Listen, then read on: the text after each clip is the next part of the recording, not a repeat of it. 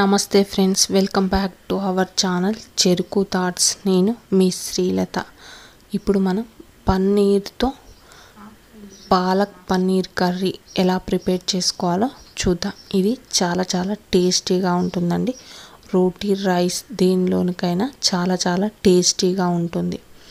దీనికోసం నేను ఇక్కడ ఒక బౌల్ని స్టవ్ పైన పెట్టుకొని ఒక గ్లాస్ వాటర్ వాటర్ తక్కువ క్వాంటిటీ తీసుకోవాలండి.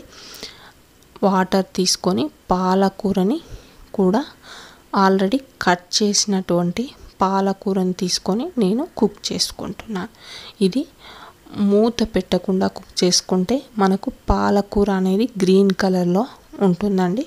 మూత పెడితే దాని కలర్ అనేది కాస్త తగ్గుతుంది. సో ఓపెన్గా ఉంచి నేను కుక్ చేసుకుంటున్నాను.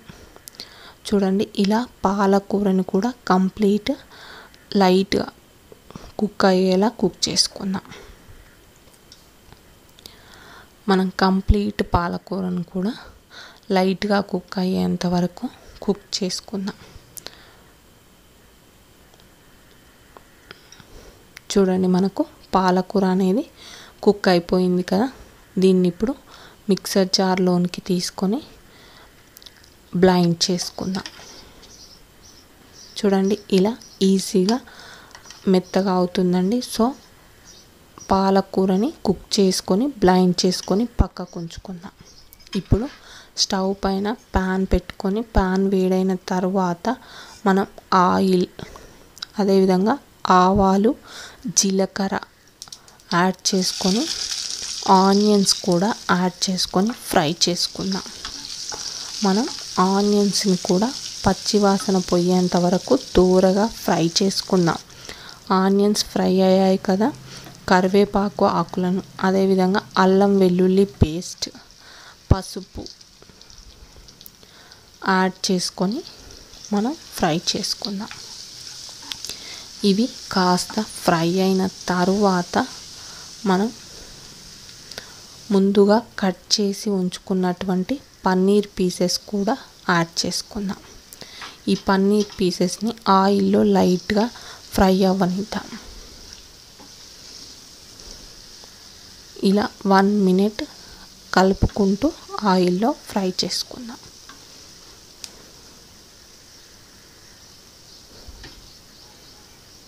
పన్నీర్ పీసెస్ అనేవి లైట్గా కుక్ అయ్యాయి కదా మీరు మీ టేస్ట్కి తగ్గట్టుగా కారము ఉప్పు అదేవిధంగా one teaspoon coconut powder కూడా యాడ్ చేసుకొని కలుపుకోండి.